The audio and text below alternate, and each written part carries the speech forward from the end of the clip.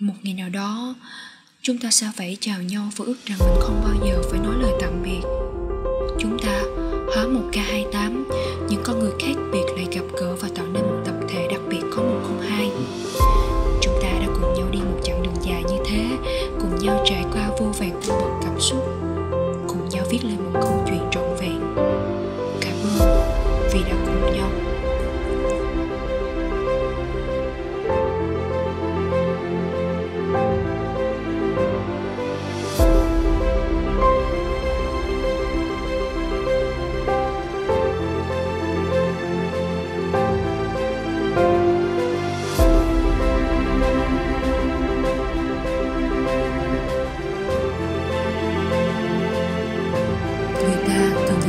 dành sự lý tiếp để nói về vấn đề học sinh.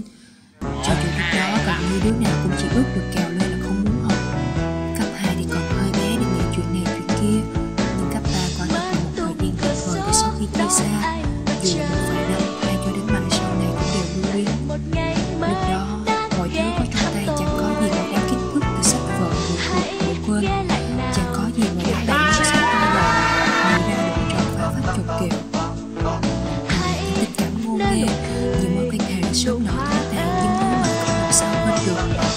đứa có trong tay là một tâm hồn đầy mộng mơ một trái tim có đủ thanh xuân căng tràn sức